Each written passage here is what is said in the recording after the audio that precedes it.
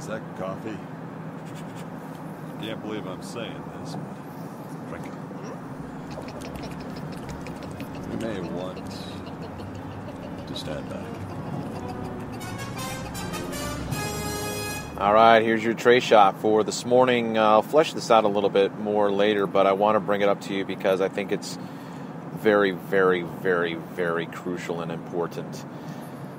John tells us in his uh, epistle, he says, and, and by this we know that we have come to know him if we keep his commandments. Whoever says, I know him, but does not keep his commandments, is a liar, and the truth is not in him. But whoever keeps his word, in him truly the love of God is matured, is perfected, is aged. Okay, listen, the Sermon on the Mount ends with Jesus saying, Whoever hears these words of mine and builds his house upon them, when the flood comes, that's a direct allusion to the coming flood of judgment. Okay, how do you survive the coming flood of judgment in the first century? You build your house upon Christ's commandments, upon His word, not upon the Torah any longer. Okay?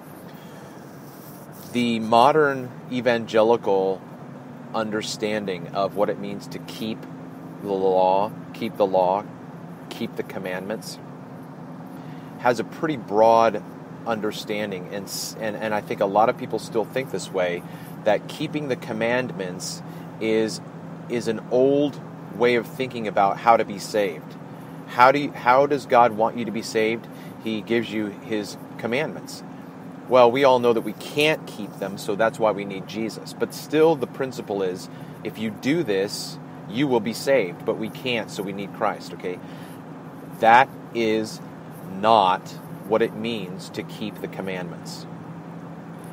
Again, I want to reiterate the Old Testament law, the Torah, is the yellow brick road.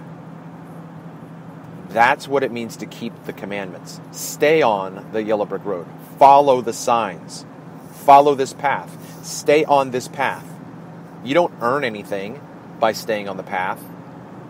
You're blessed by staying on the path. Path. You're kept safe by staying on the path. But that's what it means to keep, to guard. When God gives us His uh, commandments in the Old Testament, when He gives Israel the commandments in the Old Testament, it is to lead them and guide them. This is what Paul says. The law was a yellow brick road for us.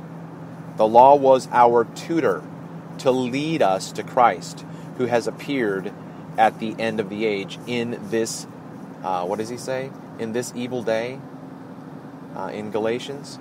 Okay? So again, I'm, I'm becoming more and more convinced that the way I'm suggesting we look at 1 John is the way that it needs to be understood. And that is that um, the uh, John is appealing to those who are still on the yellow brick road. They have to cross the threshold. They have to come into fellowship with God. Don't say you know God. We've got the law. John, we have the law. John is saying the law was a tricycle. I'm on a Harley Davidson, yo.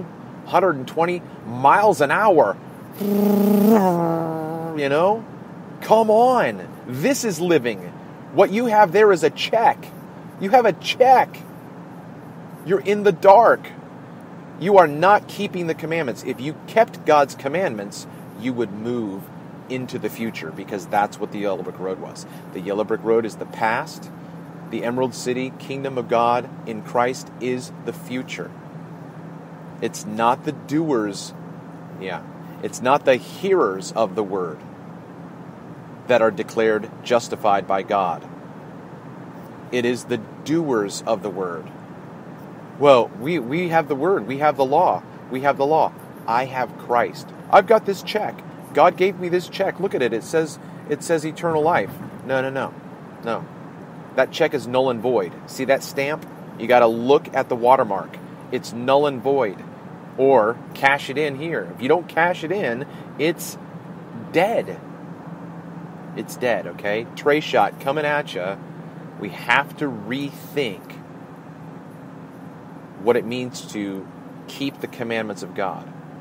We today do not keep the commandments of God because we are not Israel.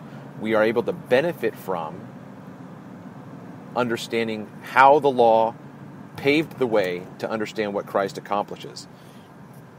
And we believe that Christ has brought the kingdom, and we enter that kingdom by faith and by the Spirit. We have the Spirit. Yes, we do.